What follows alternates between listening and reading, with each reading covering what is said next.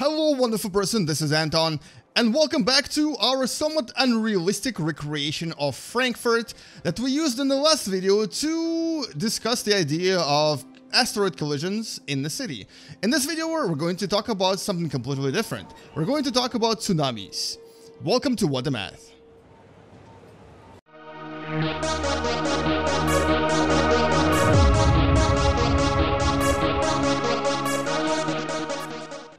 And to start this video, I really wanted to talk about various misconceptions of tsunamis and what tsunamis are not. Well, first of all, tsunamis are not actually waves. You wouldn't really, we shouldn't be calling them waves because they behave very differently from waves. And I don't really know what's happening to those guys, but I think they're just saying hi to each other. Anyway, so yes, waves usually move up and down. They're essentially uh, circular motions of water, whereas tsunamis move side to side, which is kind of interesting. So another way of seeing this is imagine your dog um, drinking water from its bowl. When a dog is licking its water and it creates these tiny waves, those are actually waves. But if your dog suddenly hits the bowl and the bowl hits the refrigerator and the water spills uh, from the bowl onto the floor, that would be an example of what tsunami is like. So it's a very highly energetic event where water doesn't actually behave as a wave, but behaves as something a little bit different.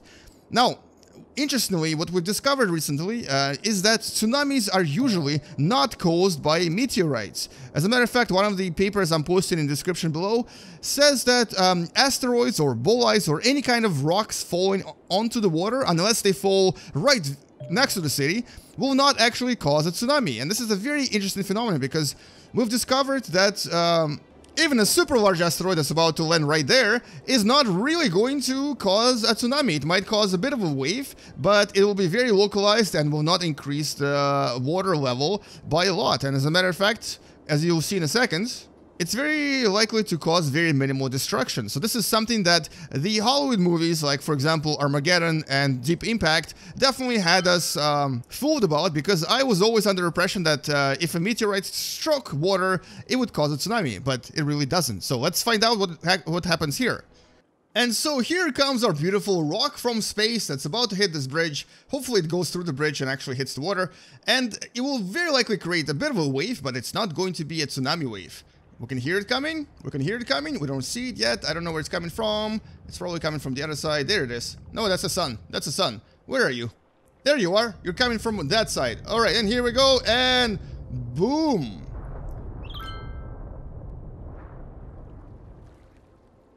A meteor strike has occurred.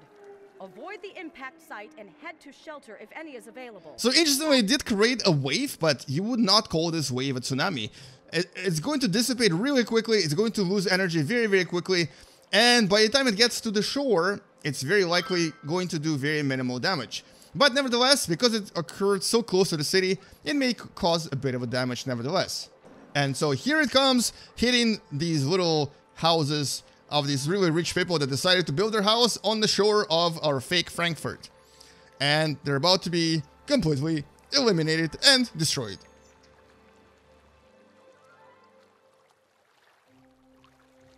Now, so what exactly is a tsunami yet? And let's just talk about it briefly while we're watching the destruction from this mini wave that we've created with an asteroid. So tsunamis are actually usually caused by the large displacement, displacement of uh, ground underneath the ocean floor. So this can happen in, you know, in two situations. One is if there is an earthquake that shifts the ground underneath, or there is an underwater landslide, which can also create just as big of a tsunami as an earthquake. And landslides are usually caused by uh, either an earthquake or just unstable sediment that deposits, deposits over time. Now, interestingly, one of the largest tsunamis ever produced and ever recorded in modern history was actually from an underwater landslide. These police cars are actually just driving through this wave like nothing happened.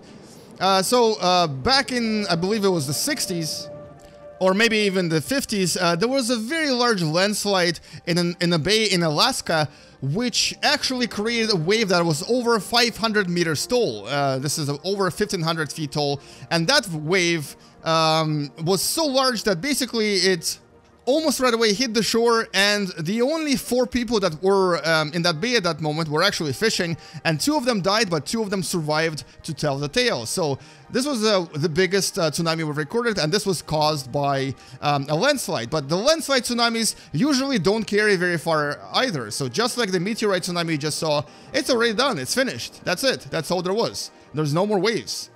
And uh, I think it destroyed some of the houses, but even not so much. This rich house is still standing and still looking very rich. The second largest um, landslide tsunami was in 1963 in Italy, and that tsunami was about 262 or uh, um, 262 meters or 860 feet tall, and it was actually next to a dam, and it was able to overflow the dam and basically destroy the cities that were um, after the dam, killing quite a lot of people.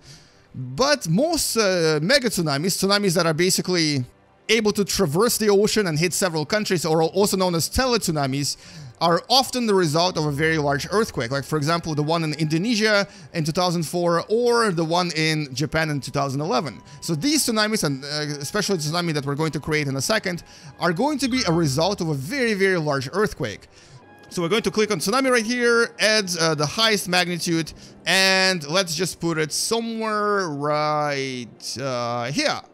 Now, I've only added one, but I'm also going to add the second one in a few minutes, just so that uh, we actually destroy this half of the city as well. And this will be an actual tsunami caused by an earthquake.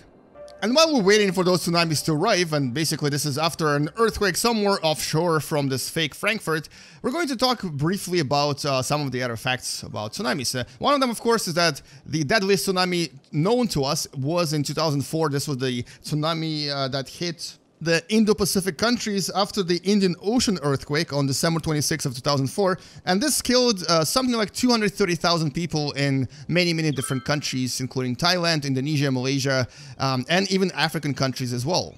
But interestingly, tsunami is actually an accepted scientific word, even though in Japanese it means harbor wave. And tsunamis are not harbor waves. They go all the way into inland. They go all the way into the land up to about 10 kilometers, which is something that we, uh, we've measured many times, including the more recent 2011 er, um, tsunami in Japan that basically traveled up to 10 to 15 kilometers inland. So definitely not a harbor wave. But nevertheless, it's been accepted for many years, and people today uh, use tsunami as a scientific term as well. Now, another common misconception about uh, tsunamis and how they're generated is that they can actually be generated by um, exploding a nuclear bomb under the water.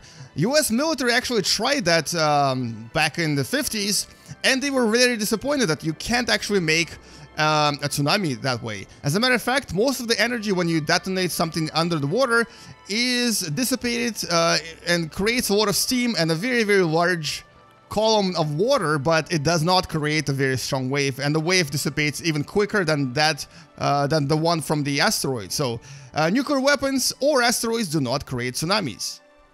Another misconception about tsunamis is that sometimes they're known as tidal waves because they kind of resemble a tidal wave that's uh, a wave caused by the moon uh, or sun tides, lunar or um, solar tides. Unfortunately, that's also not the case. We can actually predict um, tidal waves really, really well, but we cannot predict tsunamis. And is that what I is that what I see right there? Is that a tsunami? Maybe. Maybe that's the one. Maybe a tsunami coming. Yeah, look at that. That's definitely a tsunami. See how the ships are actually they're being lifted by this crazy uh, huge wave approaching us? Yep, that, it's coming. We're gonna watch it from this angle.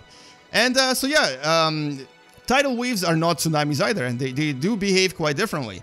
Now tsunamis, um, like I said, are not waves. They don't actually have wave-like behaviors, but uh, they do have a wavelength. Usually this wavelength is very, very, very, very, very long. So a tsunami usually has a wavelength that's uh, 200 or even more kilometers uh, long, whereas a normal wave only has uh, anything from 20 to 100 meters. So in other words, um, each of these crests that you see has um, a distance between them of uh, several hundred kilometers. But as they approach closer and closer to land, they actually get larger and larger in size and they kind of uh, come closer and closer together. And an actual tsunami, especially a powerful one, can last for um, for many many hours as these crests hit uh, hit the ground over and over and over and over again. So when the first uh, wave hits the ground, that's only going to be the first wave. Then there's going to be another one after a few hours or possibly um, something like several minutes. And then there's going to be another one and another one. And this can last for many, many, many hours. The one in Japan lasted for uh, close to about 12 hours, and you could actually watch the videos on YouTube where people were actually waiting from um, daytime to evening for the tsunami to actually finish. And so here comes our beautiful wave, our actually not a wave. Here comes our beautiful tsunami, and you can see the water retreating and adding to the uh, large crest that's about to hit the shores here. Oh, they look bigger from a distance. I don't know why it, it decreased in size suddenly, but it is nevertheless pretty big. The Coast Guard is warning of a tsunami approaching the area. Residents should avoid roads and waterfronts. Well, let's uh, pause the game for a second and just take a look at it. So you can see there's two crests coming. They're a little bit too close uh, compared to what it would be in reality. But nevertheless, this is going to be fun to watch. So we're going to maybe accelerate the game a little bit. Tsunami has struck the city. Take caution and avoid roads and waterfronts until the water recedes. So here comes our tsunami hitting the uh, right side of the city, basically destroying everything on its way. And this is a pretty large one too. This is actually a much larger tsunami than I expected It looks like it might actually completely destroy our entire city. But we'll see what happens. We'll see if anything survives. This is definitely a very interesting uh, simulation to watch. Even though it's not particularly physically realistic, it is definitely the best simulation I've seen of a tsunami hitting, the, hitting anything. Except for this bus. This is definitely not something that you would expect to happen. And generally speaking, tsunamis do actually decrease in speed as they approach the shore. So this is actually what's happening here.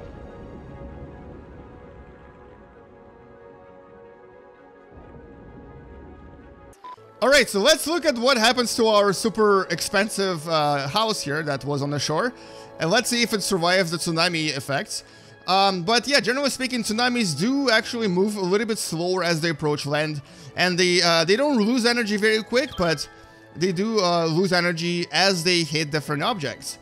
Obviously not this house, but as they uh, kind of destroy more and more stuff here, they will eventually dissipate in energy and slow down. And here we go. Let's see what happens. Goodbye, house. It was nice knowing you. Alright, it's totally covered by the water. Wow, this is a much larger uh, body of water than I expected. Now here's what all of this looks from the side. I'm actually just gonna show you all of this in real time as the actual wave covers absolutely everything in this interesting, somewhat uh, fake city of Frankfurt. We're going to actually accelerate time a little bit just so that it, it does all of this destruction a little bit faster.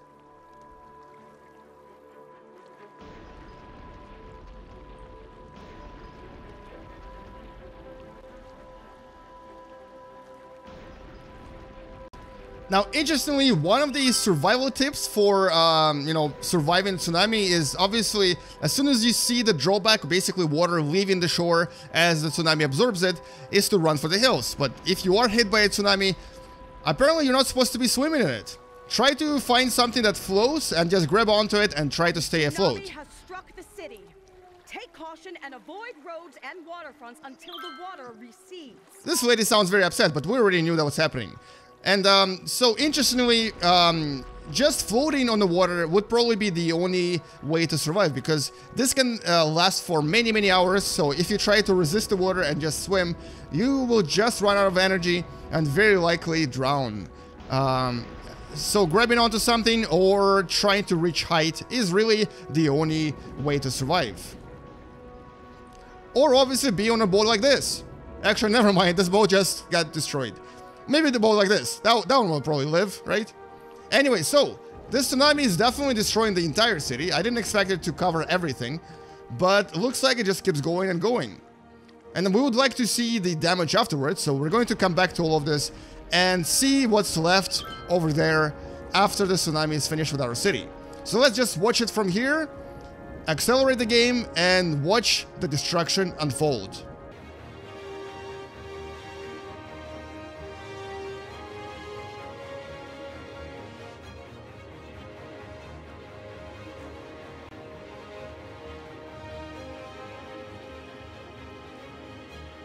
And it looks like it even reached our downtown area, destroying a lot of these uh, skyscrapers that we had.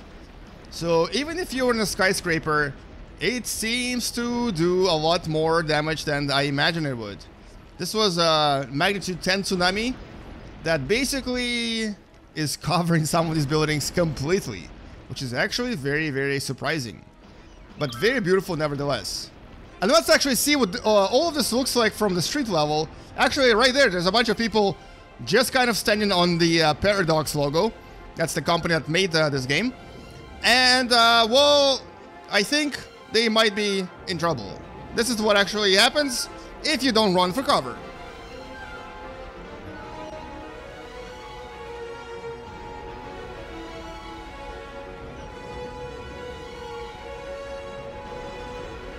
Now let's talk a little bit more science here. So here's the first wave that's kind of destroying everything. Then after the first wave, there is what's known as a drawback. There's basically kind of, it's not going to be that empty, but it's going to be a lot more shallow. And the second wave then hits again and uh, basically eliminates everything that the first wave didn't destroy. Then another drawback, and then there might be a third wave. A little bit smaller in this case, but it might actually be larger in reality. And so when both of the waves are finished with their destructive pathway, uh, there might be absolutely nothing left. Uh, as in this case here, where you'll see that there is actually very, very little left except for some of the larger buildings. These three buildings might survive, but all of our little houses, including of course our favorite uh, expensive house that was somewhere over here, I think. Yeah, it was actually right here. All of the houses are basically gone. Everything is destroyed, except for the traffic lights. Traffic lights survived, and they still work, but there, there are no cars to follow the traffic lights. Oh, also, this statue is alive. I don't even know what that represents, but it's still standing. And that's basically what we have if a tsunami strikes a city. And you know what? Hopefully you enjoyed this video and hopefully you learned something about tsunamis. You know a little bit more about misconceptions and uh, things that do not produce tsunamis. And hopefully you now understand that only earthquakes, landslides, and in some cases very large volcanic eruptions when a lot of land is displaced can actually produce a tsunami that would be powerful enough to destroy many, many things. But things like nuclear weapons and asteroids and a lot of other things that people think produce tsunamis do not actually make them. They just make waves, but not tsunamis. Now I'm gonna wait a few minutes and wait for all of this wash away to return back into the ocean, and that's essentially where all of the destructive material is going to wash into the ocean and stay there and possibly reach other countries. This is what happened to the Japanese tsunami where after a year or so, people in countries like um, US and Canada started to basically um, find these objects from Japan after the 2011 Japanese uh, tsunami. And um, essentially, the tsunami has finished. This is what's left of Frankfurt. It's been completely eliminated. Surprisingly, their airplane was able to land in the water there. Um, but yeah, there's absolutely nothing left except for the um, larger objects like the stadium that's suddenly back online and the um, some of the larger skyscrapers that we had. But everything smaller, everything close to the water shore, and everything that was not essentially protected has been destroyed. And that's what tsunamis do. They destroy so much more than any other natural disaster, except for maybe a very massive earthquake in the middle of the city. And maybe we'll talk about this in one of the future videos, but for now, that's all I wanted to do. And as you can see, after the tsunami, my population decreased from what 141,000 to about 14 or 15,000. Our current population in this fake Frankfurt is 14,400 people. So something like 90% uh, uh, of the entire population has been basically uh, killed. I'm sorry. I'm sorry for that. But uh, we are increasing the population numbers, which is very interesting because this was uh, an area that was completely destroyed. And anyway, thank you so much for watching and hopefully you enjoyed watching this video and hopefully you learned something from it. And if you did, don't forget to share this video, don't forget to like it, and possibly leave a comment about uh, what have I forgotten about tsunamis. Was there anything important that I didn't mention? Please let me know. Also subscribe to this channel and maybe consider supporting us on Patreon as well. But you know what? As long as you watched it and enjoyed it, I'm already happy. Come back tomorrow, you'll learn something else, and we're going to use video games for education. I'll see you guys later, game me later, and as always, Bye bye. Poor Frankfurt. I've destroyed you twice, I might do it again.